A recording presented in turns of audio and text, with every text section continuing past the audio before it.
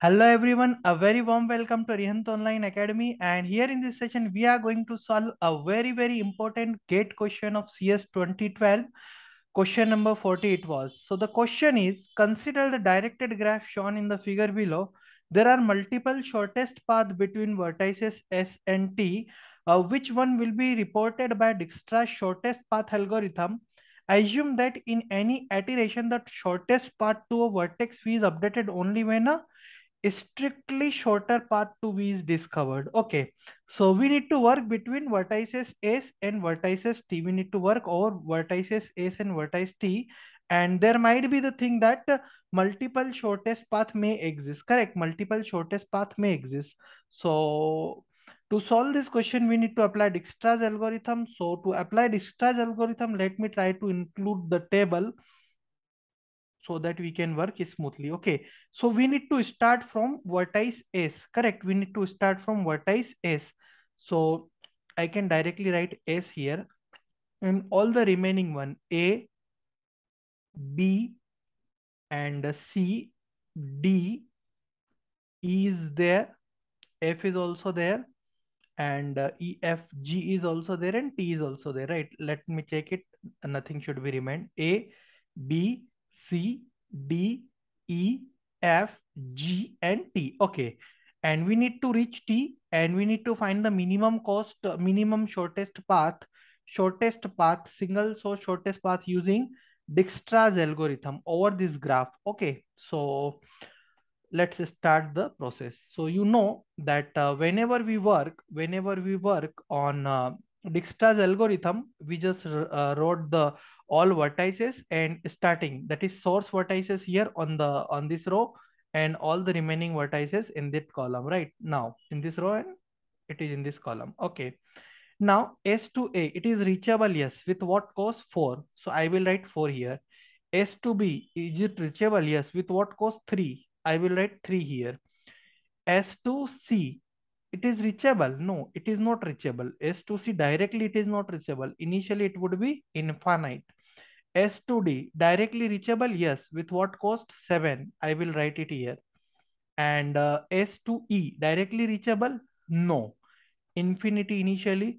S to F directly reachable? No. Initially it would be also infinity. S to G initially it would always be infinity because it is not reachable and S to T initially infinity because it is not reachable. Okay. Now you know that in the next iteration, in the next iteration, we need to work on the edge, which is minimum, correct, which is minimum. So if you will see S to A, A to B, correct, and uh, B to C. So S to A, we can reach in 4 and uh, S to B, I can reach S to B in cost 3. So minimum is B. I will take B here. I will take what B here, correct? Because it was minimum it is minimum among 4 3 and 7 so whatever is the minimum we will to take, uh, take it. And we are not going to work anymore here. Correct? Okay. Now b to a. Can i reach b to a? No. So whatever here we need to put it as it is. So 4 is as it is here. After that c S to C. Can we reach B to C? B to C. B to C. Can I reach? No, I cannot reach directly. So infinity as it is. B to D. Can I reach B to D? Yes. With what cost? 4. With what cost? 4. And already I am traveling 4. Uh, at B, I have 4. 4 plus 4, it would become 8. 4 plus 4, it would be 8, right? So at B, here I am having 3. You should focus here. S to B, I will reach in cost 3. S to B, I will reach in cost 3, right? S to B, I will reach in cost 3. Further, I will add 4 and I will get 7, but I will not update it. Why? Because if you are going to read the question, it is written that the shortest path to a vertex V is updated only when, only when a strictly shorter path to V is discovered. It is not strictly shorter. Strictly shorter means it must be lesser than 7 there, there thereafter only i will update. Else i will not update. That is the thing. So i will keep 7 as it is. I am not updating it. Okay b to e b to e b to e no directly not reachable infinity as it is.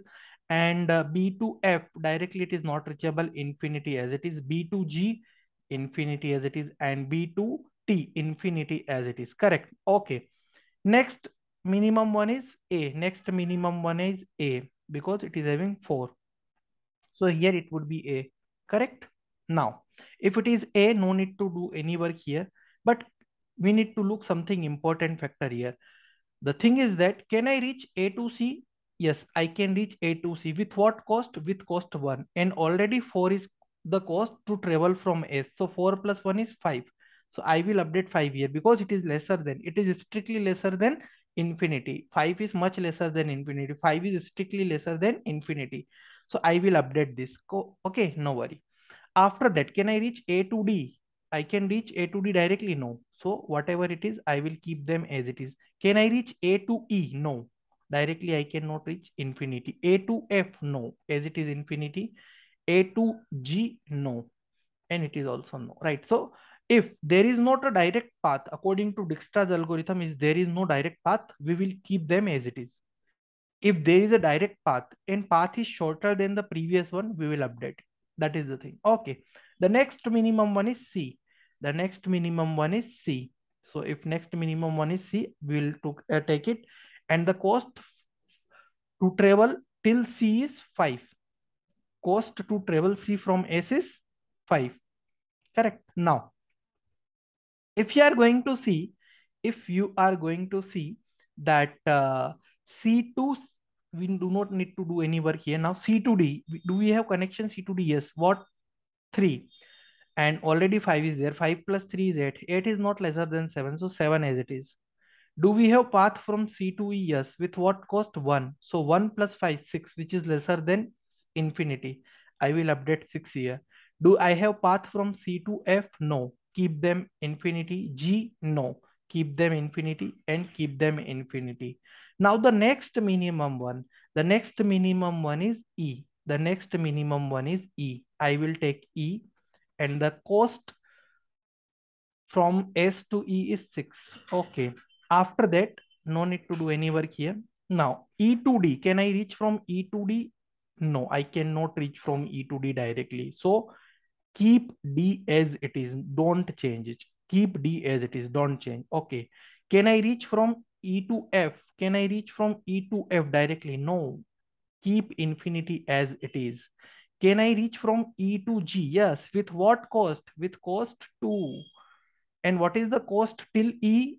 6. 6 plus 2 is 8. 8 is lesser than infinity, isn't it? Yes. So I will update 8 here. And can I reach from E to T? Yes, E to T I can reach. With what cost? With cost 4. And what is the cost to reach E?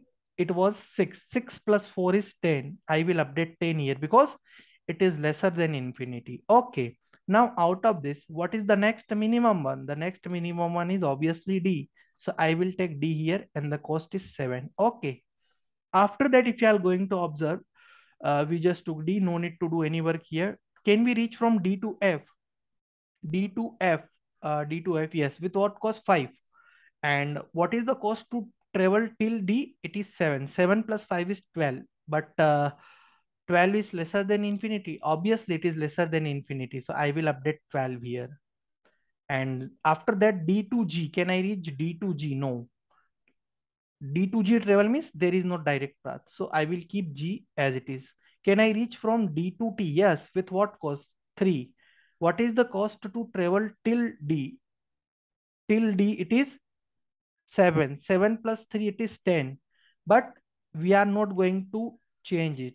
We are not updating it via D. We are only keeping it via E. We are not updating it via D. Why? Because in question itself written is strictly shorter.